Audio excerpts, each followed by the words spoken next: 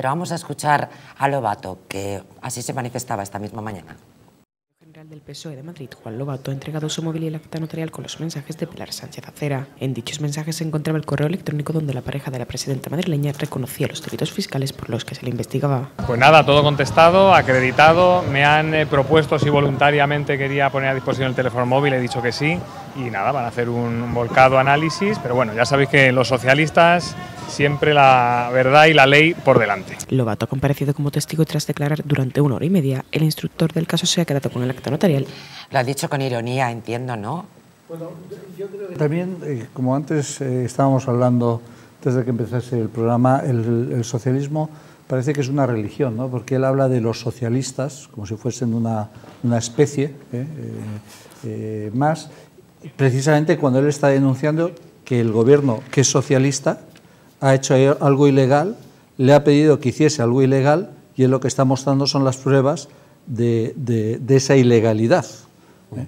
Es decir, que el gobierno, pues bueno, yo creo que es un, una, otra, otro cerco adicional eh, en Sánchez y en el fiscal general del Estado que manifiesta claramente que el Partido Socialista quiere el control absoluto de todas las instituciones y para eso tiene decanes serviles, pues como este el fiscal Ortiz o el teniente general o el torero este que le gusta disfrazarse de militar, pero que es muy cobarde este Marcos.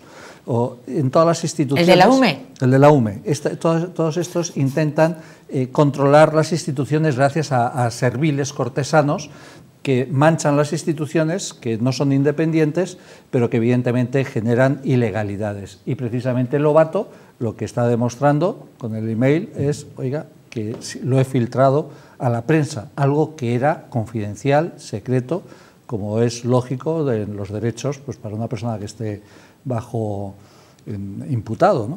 Bermejo. Bueno, bueno, vamos a los hechos.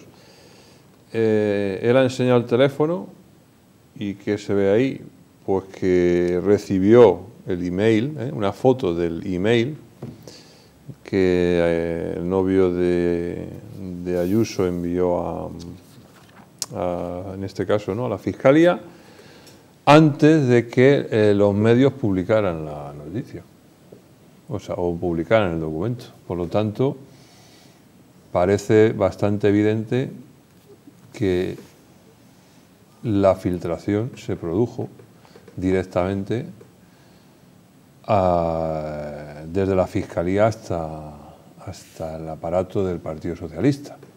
En concreto, eh, a lo que, al jefe este de gabinete, ¿no? entonces eh, este Óscar López, ¿no? que yo creo que todavía sí. no era ministro. ¿no?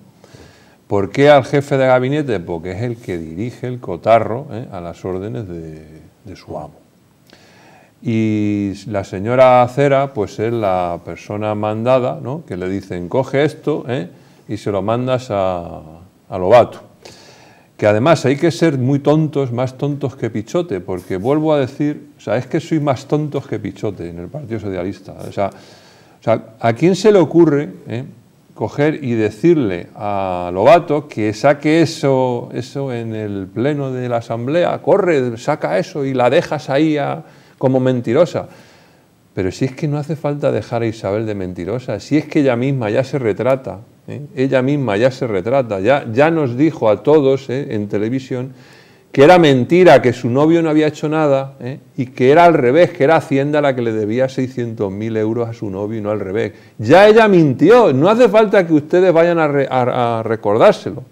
Y además, como hay un procedimiento abierto, del que va a ser condenado con toda seguridad el, novio, ¿eh? porque además se ha declarado culpable, pues ya se retrata ya sola que está defendiendo a un delincuente confeso. Entonces, ¿cómo sois tan tontos de pichote eh?